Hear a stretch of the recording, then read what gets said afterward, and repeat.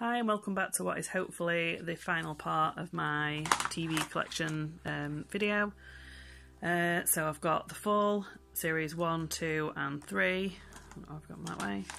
Um, this is quite a violent crime series and it's it, you look at the story from the perspective of the person investigating the crime or one of the people, the main person investigating the crimes, and the serial killer. That's not a spoiler, it says on the back of this one that uh, he's a serial killer. And you know straight from the off what he's doing, so there's no guessing what's going on. It's more sort of the chase. You, you know, you can't, you want them to catch him and stop him, but at the same time, Paul Spector, who Jamie Dornan plays, is kind of a likable character and you kind of find yourself almost wanting him to just stop what he's doing and, and you know be normal and not get caught and because he's, he's a dad and he's married and he seems a really good dad and kind of he seems like a nice guy in his everyday life but obviously he's doing some terrible things. But this is quite graphic so I don't think this one would be for everyone. But I really like Gillian Anderson obviously because I like the X-Files so I was excited to see this one and it was definitely one that um, you know I really enjoyed and that I will watch again.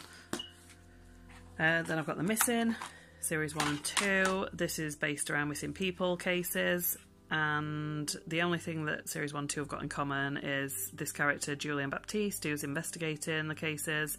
This one's based around a young boy that went missing. James Nesbitt plays his dad and this couple, their daughter goes missing in this series and um, these are really sort of engaging storylines, again with sort of all the different threads leading to a big finale and twists in the you know in the story and things like that. They keep guessing right to the last second. I, I really like that about this, and this one really is well made.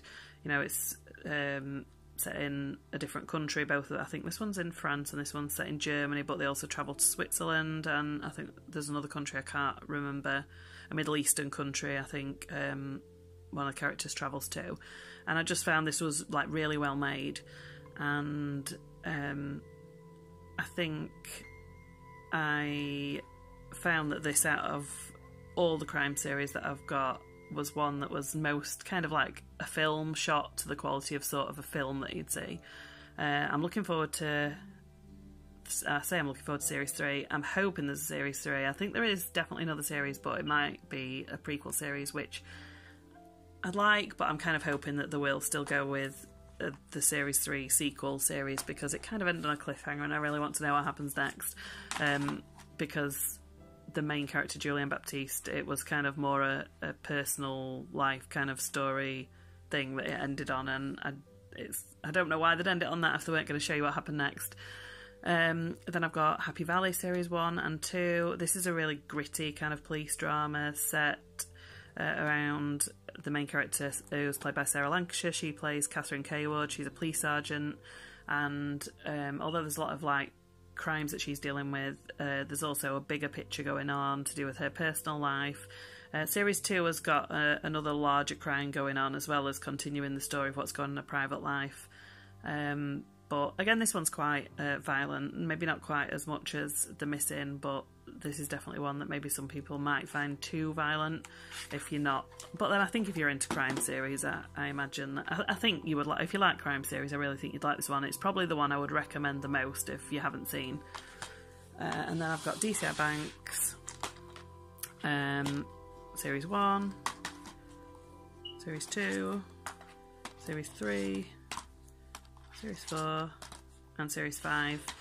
Uh, I love DCI Banks. This is definitely one of my favourites. I really like the main characters in this one. The crimes are really good too. They're set over like a double, episode, two episodes, like double episode type thing. Um, so I really like that because you're not waiting too long to find out what happens, but it's not too short and brief. Um, you know, you get to know a lot of what's going on, and there's plenty of investigation, but you're not waiting too long for sort of payoff for it. But like I said, what I liked the most was definitely sort of the main characters and the stuff that was going on in their personal lives and how it sort of connected sometimes into the crime um, story. Um, I was really sad to see this one go. I definitely think this one could have continued with more series because it's kind of one where you see a lot of the personal lives of the investigators but I suppose they have to end sometime, and I'd definitely watch the series again because there's no more to watch. I think I'll definitely binge watch um, all five series again at some point um, this year or next year. Uh, so that's it for what I've got to show. I'll just quickly show what's on my um, watching pile. So a lot of the things on my watching pile I've kind of shown the rest of the series already, but this is one that's a complete box set that's on the pile. But I've mentioned it, um, Wire in the Blood, and this is a fairly old one. I think this started in the 90s, possibly. I uh, don't know if it says on here. I'm almost sure it started in the 90s or very early 2000s, I think. I might be totally wrong there, I've not actually looked it up. But I remember quite a long time ago hearing about this, and I've always been a fan of um, Robson Green, but I wasn't really into crime series at the time, so I didn't watch it. But um, we've really got into this recently, and we're sort of binge watching the whole box set right now. We normally sort of flip between, you know, we'll watch one series of something, then flip to a, another series uh, to watch a series of that, and then go back and forth between a, a two or three different series, but we we just keep going with this at the moment because we're really into it. This is a bit of a violent one as well, so again, maybe not for everybody. There are really some quite graphic kind of crimes in this, but I really like the main characters, particularly Robson Green's character. He plays sort of a, a criminal psychologist. Is it a criminal psychologist? Is that what you call it? Um, yeah, well, he's a psychologist who ends up kind of um, using his abilities to help uh, solve crimes. He's really quite unusual um, but intelligent, and I really do like this one. Um, it's uh, I think an hour and a half per episode, so they're quite long episodes, but that's quite good because you really get to see plenty of um, you know what's going on with each crime. They're quite detailed and complicated, but at the same time, it doesn't go on for tons of episodes. You know, each crime is wrapped up at the end of the sort of hour and a half episodes. I think possibly in the later series, maybe the last or the last two series, the 60 minutes. So I don't know if the crimes then run over two episodes. I'm not sure. Uh, then I've got Big Train. I think I've actually shown this on the shelf. In fact, I'm almost sure I have. It's now in my watching pile because I'm rewatching this. It's just a really silly, weird, kind of dark comedy. There's I mean, it's hilarious, but there are some things that are just so ridiculous. But if you like weird comedy, which I kind of do, then I'd highly recommend this one. I remember seeing this on TV uh, when it first came out. Uh, when would this have been? Early 2000s, maybe? I think. I think it was early 2000s. I remember seeing a little bit of an episode and just thinking how weird it was. And that's it's one of the things that actually got me into this kind of crime series. Um, then I've got The Accused. This is just the French version of the box set. Um, so it's got French writing on it, but you know it's in English. It's you know there's nothing different about it inside. It's just I couldn't get the English box set at the time.